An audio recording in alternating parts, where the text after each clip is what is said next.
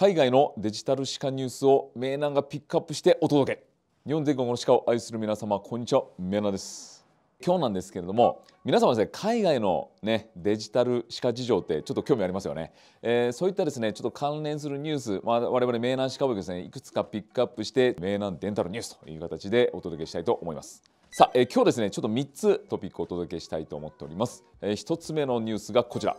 エグゾキャドの3.2がリリースということになります。今回ですね12月にまあ3.2のですね、えー、エレフシナというバージョンが発表されました。が今回ね、まあ、ギリシャのですねエレフシナというね町の名前都市の名前がねついております。えー、今回もですね約60の、まあ、新機能が搭載されてですね今より自動化とシームレスなね統合的なこう機能が、えー、盛り込まれたと言われております。えー、今回 exocad社もですね、まあ、歯科の専門家の皆さんが待ち望んだですねエキサイティングな機能が、え、盛り込まれたと、え、謳っておりますので、まあ、非常にねこう楽しみなあバージョンになります、えー、このね、えー、バージョンについてまたね別途、えー、メイナンチャンネルでも、えー、まとめて皆さんにお届けしたいと思いますのでぜひこちらもね、えー、お待ちいただければというふうに思います。チャンネル登録してからね待ってくださいね。2つ目のニュースがこちら。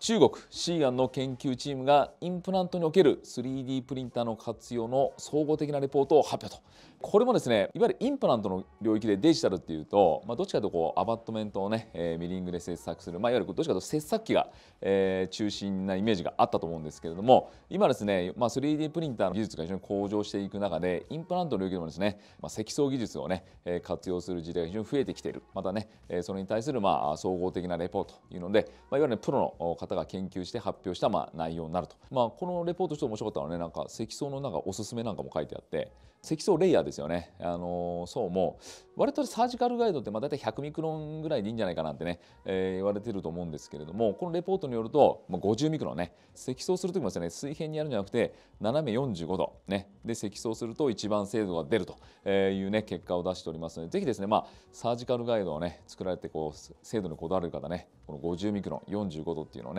えー、覚えておいていただけるといいんじゃないかなと思います。はいでまあ2つ目のポイントとしてはですねまあこの実際このインプラントの本体自体ですよね、えー、これも 3D プリンティングで作っていくというのはですね、まあ、どんどん今実用化されているそうです、まあ、いわゆるですね航空内スキャナーのデータとそれから CBCT とかね、まあ、いわゆる CT のねデータをまあ統合させて、まあ、CAD 上でね、まあ、よりこの患者さんの元あった歯根の形にまあフィットしたまあ形状のね、えー、歯根のインプラントをまあ作ることができると。あの材料としてはですねレポートの中で推奨されているのはこの歯根の部分に関してはチタンを使っていわゆるこのアバットメントのところはね、えー、ジルコニアを使うとまあ非常にこう適用のインプラントができるのではないかというね提案がされておりましたけれどもまああのチタンのね、えー、ところはいわゆるこうメタル積素のね技術で作れますしまた歯間の部分ですね、まあ、ジルコニアなんでおそらくまああのここまあ今ね最近あのジルコニアの 3D プリンターなんていうのも実は海外では少しずつ出て始めているので、まあ、そういった積層もできると思うんですけれども、まあ、あとね、まあ、ここに関しては CAM の方がまだ一歩ちょっとね、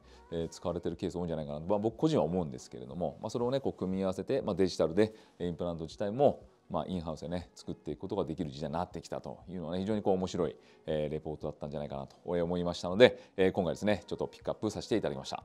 はい、で3つ目なんですけれども、まあ、アメリカのミリング事情と、えー、いうことで、えー、これですね約、まあ、LMT というね、まあ、アメリカの、まあ、技工所さんの、まあ、組合ですかね。こちら約100社の方からの、まあ、アンケートをもとにね、えー、出したデータで、まあ、ちょっと面白いなと思ってちょっとねピックアップさせてもらったんですけども、えー、この100社さんのうちですね約45%が、まあ、それから CAD、CAM ね、え、両方持ってるっていうね、えインハウスで、えフルでこうできるという環境を整えているそうです。でですね約34%が、まあ、スキャナーだけを持っていて、まあ、ミリング以降はね、えアウトソーシング、え外注に出していると。え、いうことだそうです。まあ、このねあの結果を見ると約もう8割がデジタル化ができているということなので、まあ、これは結構面白い数字だと思いました。これ私日本のこういうねこうデジデジタル化どこまで進んでるかデータってあんまりちょっと見たことないのでねちょっとこれから探してみたいなと思うんですけれども、まあ、アメリカに比べて日本がねどうなのか進んでるのかどうなのかっていうのはねちょっと気になるなとはちょっと思いましたね。でこのね45%のミリングラボのうちね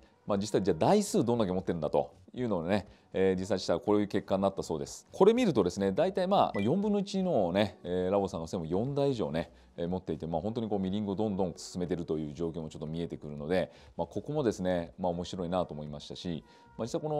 のラボのね規模感っていうのもアメリカっていうのはね、まあ、日本に結構近いのかな勝手に僕ちょっと想像してるんですけれども、まあ、そういった中でですね、まあ、デジタル化って結構進んでるかなというね、えー、イメージを受けました。はい、でもう1個ねちょっと面白いあのリサーチ結果があったんですけれどもこのね CAM を持ってるね、え、ラボさんのうち約半数の方がね再生の数ですねあの数も減ったと回答されているそうです。まあ、やはりまあそのデジタルで作ることによってね、まあ、精度がどうなんだっていうところはいつも皆さん議論の一つにあると思うんですけれども、まあ、半数の方がまあ精度が上がって再生が減ったと、え回答されているっていうことはやっぱりこのデジタル化によってね精度も上げていくということは、え非常にやっぱメリットとしてもこう受け入れられてきてるのかなというふうに思います。まあ、逆に言うとまだ半数の方はまだまだね制作しても変わらないという回答をしているということからもですね、えー、まあ逆に言うと、まあ、デジタルのまだまだね発展の余地っていうのはまだ少し、えー、あるというのもね、えー、残されているのかなというのもちょっと思いましたけどね。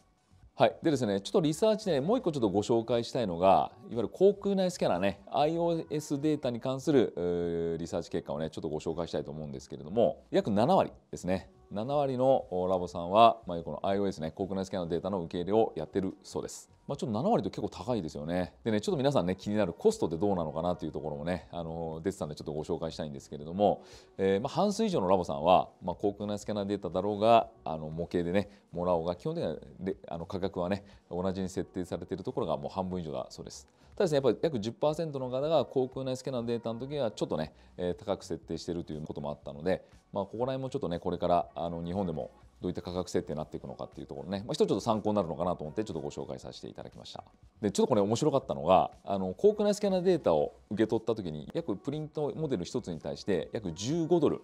が平均の、ま、価格帯だそうです。大体日本円にすると、まあ、今ちょっとね円安なんであれなんですけども約2100円と。もうちょっと僕ねアメリカっていうのがすごい取ってるイメージがあったので割と良心的なね材料費とね手数料ぐらいでね出されてるんだなというのはね、えー、感じました。